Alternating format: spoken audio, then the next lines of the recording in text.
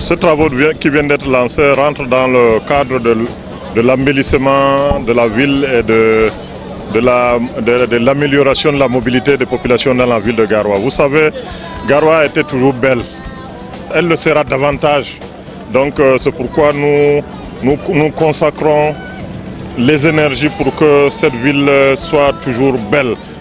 Six mois de travaux pour un budget de près de 200 millions de francs CFA. La mairie de la ville ayant encore délié les cordes de son portefeuille pour le bien-être de ses populations, fournisseurs originels de ce budget. Il faut que la population comprenne que les taxes qu'elle paye, ce qu'on leur demande de payer, voici là où ça part. Ces actions s'inscrivent dans le cadre de l'opération Garoua-Ville que nous avons initiée avec les trois maires des communes d'arrondissement dont les résultats sont le curage de 7260 km de caniveau, de 1990 mètres linéaires de drain, de 7 km de cartonnage, le nettoyage de, de 20 000 mètres carrés de places publiques, la réhabilitation d'environ 20 km de routes dans la ville avec l'opération de bouchage des nids de poules, la sensibilisation des populations sur l'adoption des bons comportements citoyens, etc.